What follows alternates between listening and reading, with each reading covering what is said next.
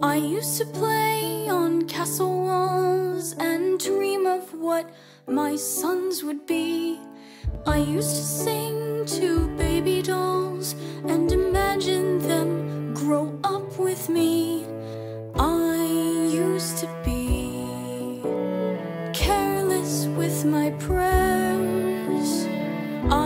Not to be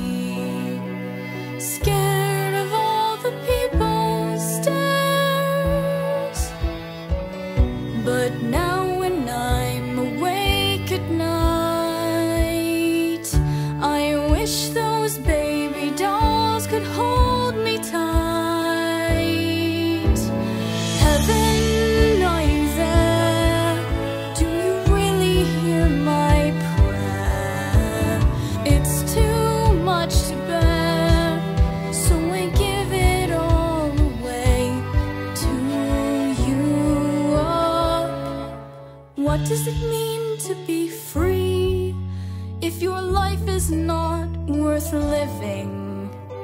What does it mean to be me if my soul is not?